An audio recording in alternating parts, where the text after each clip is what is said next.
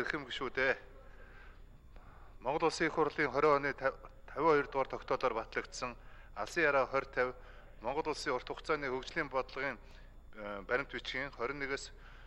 2030 онд хэрэгжүүлэх үйл ажиллагааны 4-ийн 5-ын 14-т чөлөө төсийг хөгжүүлж хил дамнсан худалдааны байнгын сүлжээг байгуулахаар Монгол Улсын засгийн газрын 2024 оны үйл ажиллагааны хөтөлбөрийн 3-ийн 1-17 чөлөөт бүсүүдийн дэд бүтцийн бүтээн байгуулалтын ажлыг үе шаттайгаар хийж экспорт болон дотоодын зах зээл чиглэсэн худалдаа үйлчлэгээ хөнгөн үйлдвэрлэлийг хөгжүүлэх нөхцөлийг бүрдүүлж гадаад дотоодын хөрөнгө оруулагчдыг дэмжиж ажиллахаар заасан. Мөн Монгол Улсын их хурлын 21 оны 106 дугаар тогтоолоор батлагдсан шин сэргэлтийн бодлогыг хэрэгжүүлэх эхний үе шатны үйл ажиллагааны хөтөлбөрт шин суурьшлийн бүс дагуулхад эдийн засгийн чөлөөт бүсийн бүтээн байгуулалтыг эрчимжүүлж Улаанбаатар хотоос орон нутагт шилжин суурьшсан иргэд аж ахуйн нэгжүүдийг цогц бодлогоор дэмжих замаар төвлөрлийг сааруулахаар тусгасан.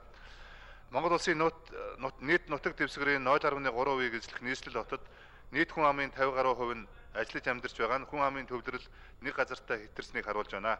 Жил дунджаар нэг аймгийн оршин суугчдад тэнцвэс хэмжээний хүн ам нийслэл шилжин сууршиж 70-аас 80 мянга гаруй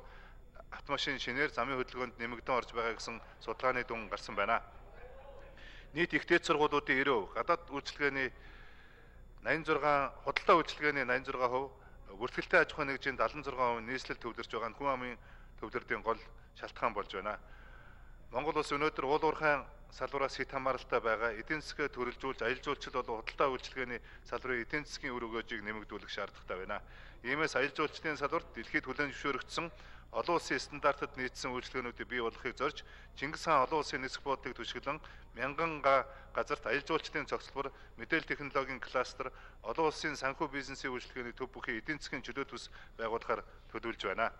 Татварын таатай орчинд хөрөнгө оруулагчдыг татаж нэмэн өртөг шингэсэн бүтээгдэхүүн үйлдвэрлэлийг хөгжүүлснээр эдийн засаг нийгмийн өгөөж өгч 50-аас 60 мянган ажлын байр шинээр бий болсноор халамжаас хөтөл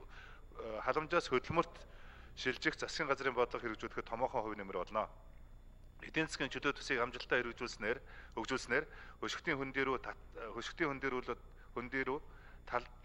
таталцал бий болж шинжлэх ухаан инновацид суурилсан ихтэй сургуулиудын отхон доктортой хөгжлийн зорилтуудыг хангасан үндэсний төв соёл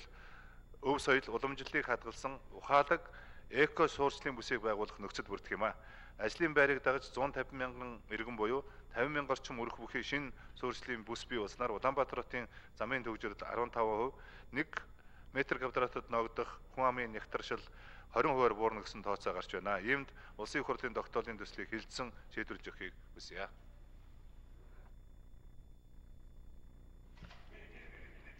За төслийн талаарх эдийн засгийн байнгын орооны санал дүгнэлтийг